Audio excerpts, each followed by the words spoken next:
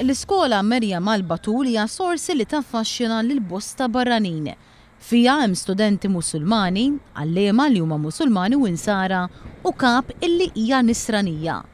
Waqt żjara fiċ-Ċentru Iżlamiku, il-Mexxej Laburista Joseph Muscat qal li din l-iskola ma tinsabx biss fil-qalb u l-moħħ tal-Partit Laburista iżda anke fil-manifest elettorali fejn bl-iswed fuq l-abjad jingħad dak li jeħtieġ isir biex l-iskola jkollha futur ta' ċertezza.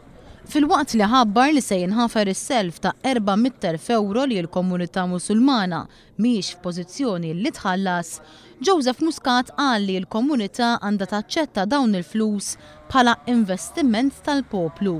Il-Mexxej Laburista qal li l-Maltin huma kollha l-istess u m'għandhomx ikunu ġġudikati fuq it-twemmin tagħhom. Nemmnu fil-pluraliżmu, nemmnu fil-ftuħ, nemmnu illi l-Maltin huma kollha l-istess, nemmnu li l-persuni huma kollha l-istess.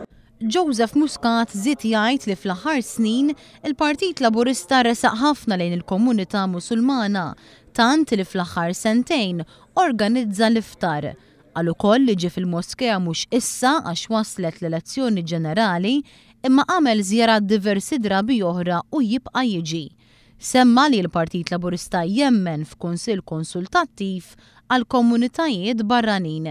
Għadna nkunu qegħdin norganizzaw Kunsill Konsultattiv għall-Komunitajiet Barranin f'pajjiżna ħalli nisimgħu wkoll x'għandhom x'jgħidu l-komunitajiet barranin.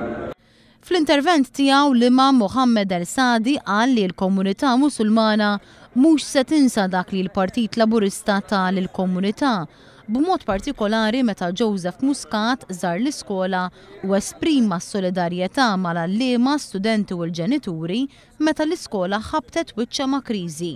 Fakkar ukoll li Joseph Muscat kien ta l-appoġġ lill-komunità Musulmana u li uża l-pożizzjoni tiegħu bil-għan li jgħin biex il-problemi tal-iskola jiġu solvuti. You visited our school and expressed your sympathy with the teachers, parents and students and showed your support to the school and promised to use your position and influence